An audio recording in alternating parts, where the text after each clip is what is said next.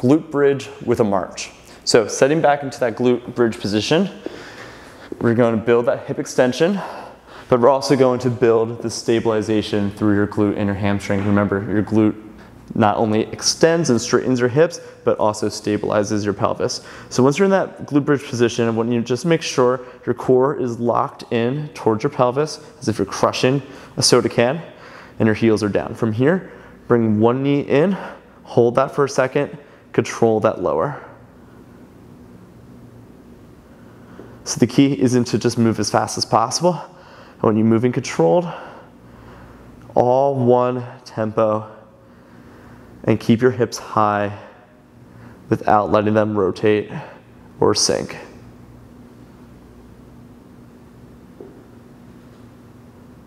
Now, if that's a little too much, you can always place your hands onto the floor. Uh, just pay attention to programming though. Uh, for uh, the, the, if you may alternate some reps, you may hold, you may just do all one side. Uh, but after that movement, you should really feel that in the glute. But if you don't, heels down, so lift your toes up, so stay on your heels to intensify that feeling.